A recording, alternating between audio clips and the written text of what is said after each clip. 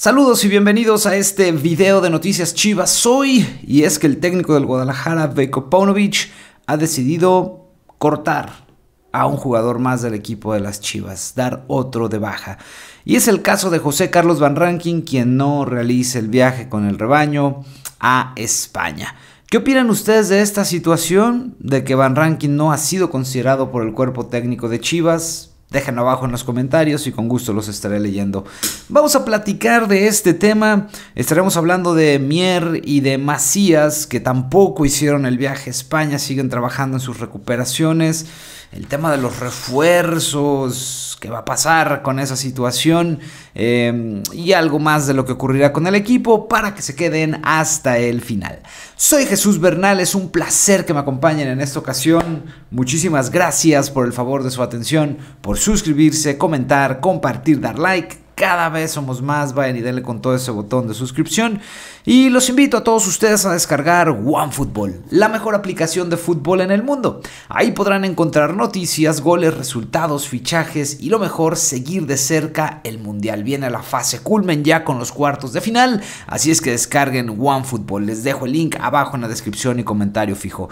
Lo mejor de todo es que es totalmente gratis y lo puedes encontrar para iOS y también para Android. Así es que ya lo saben, link abajo en la descripción y comentario fijo para descargar OneFootball. Sin más preámbulo, comenzamos con este video, con las últimas noticias de las Chivas.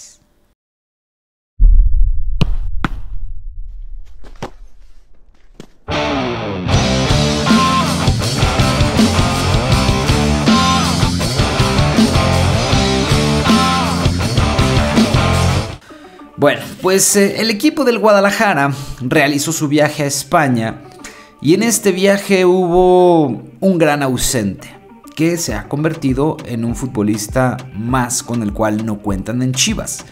Tal es el caso de José Carlos Van Rankin, quien no irá a, la gira por España, quien no entra en planes con el equipo y le han permitido quedarse en Guadalajara para que pueda encontrar acomodo de cara a la siguiente temporada.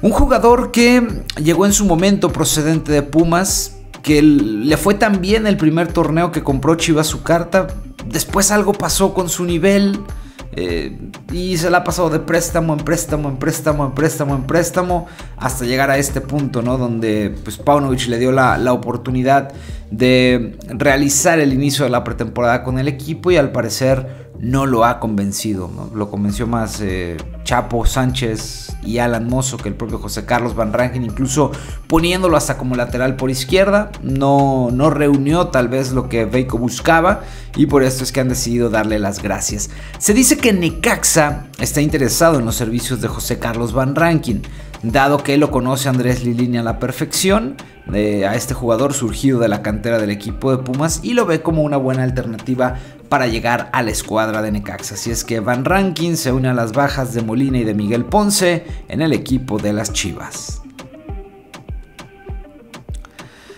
JJ Macías e Irán Mier son otros dos futbolistas que no hicieron el viaje a España con el equipo tapatío, pero no es porque estén dados de baja, sino porque están trabajando por separado. En el caso de Macías, pues lo tiene haciendo desde el torneo pasado, bien recordarán que se lastimó la rodilla, fue operado, está en un proceso de rehabilitación y se espera que regrese en febrero a las canchas con el equipo del Guadalajara.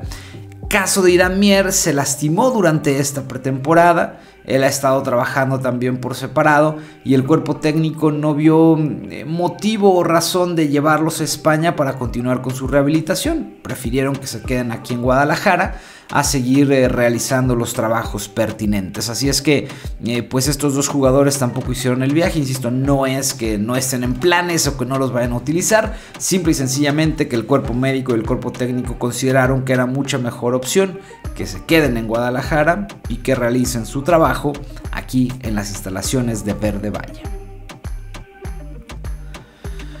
Y bueno, pues eh, muchos de ustedes, y yo creo que la mayoría, seguimos preguntándonos qué va a pasar con los refuerzos en Chivas, qué va a ocurrir con los refuerzos en Chivas. Y hasta el momento pues no se ve nada claro ese tema o esa situación ¿no? de, los posibles refuerzos del equipo del Guadalajara. Mm, si llegan no serán muchos, eso habrá que dejarlo en claro, o sea, no, tiene a Mauri otra vez una chequera de 40 o 50 millones de dólares para traer 7 jugadores, como ocurrió en su momento con Ricardo Peláez. Ha quedado en claro también que hoy el proyecto son las fuerzas básicas y simplemente buscarían algunos lugares estratégicos donde puedan reforzar al equipo tapatío.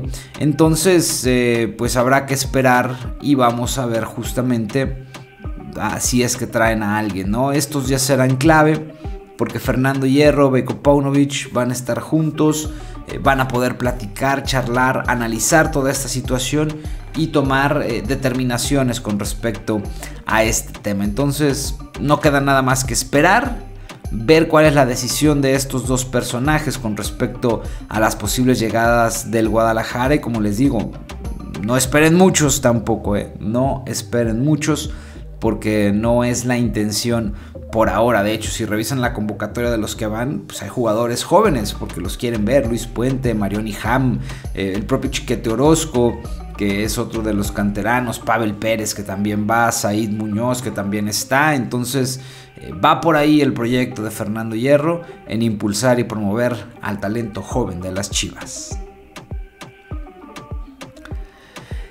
Como bien saben, el equipo del Guadalajara el próximo día 11 estará enfrentando al Athletic de Bilbao.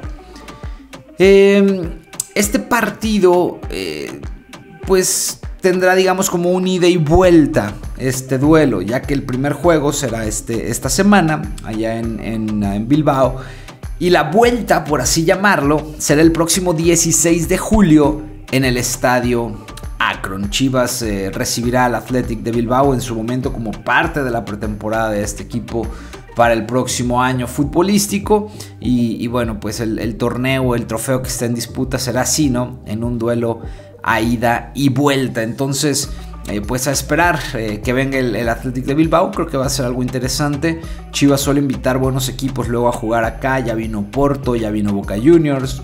Tocará el turno a a la gente de San Mamés y bueno, pues a la espera de lo que ocurra en ese enfrentamiento. Y bien, ¿cómo será la agenda de Chivas ahora que va a estar en España? Bueno, pues les, les comparto a continuación este tema. Eh, ayer volaron con rumbo a Madrid.